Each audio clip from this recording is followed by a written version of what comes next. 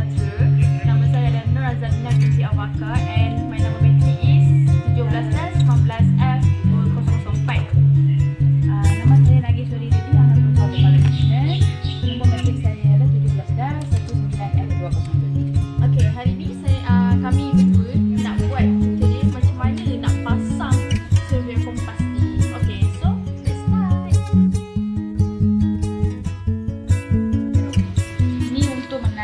observation point.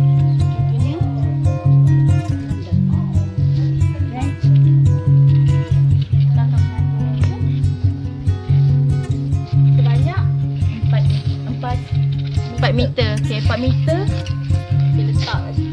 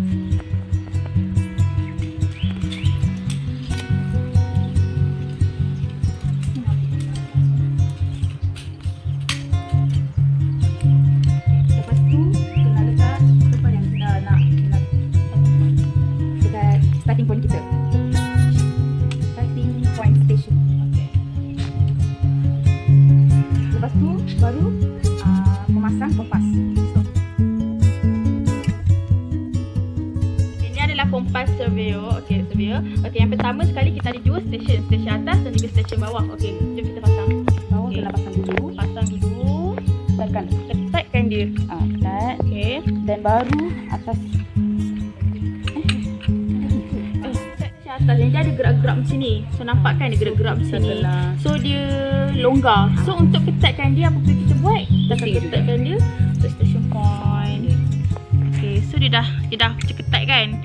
dia dah ketat. Okay. Yang kedua adalah kita dah pasang, dia akan longgar macam ni kan? So kita kena Lock lockkan dia, tegakkan dia.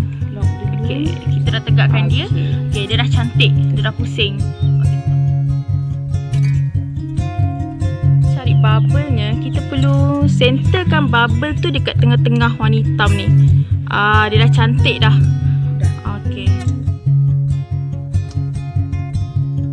Adalah lock dia. So kita nak kita nak cari dia punya kosong starting point ni, kita kena lock dia ke bawah. And kita akan pusing dia sehingga bunyi klik.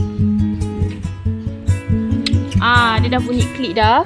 So, ah, after dah bunyi klik tu, kita boleh freekan dia kalau kita nak ke mana-mana arah. Okay, stop.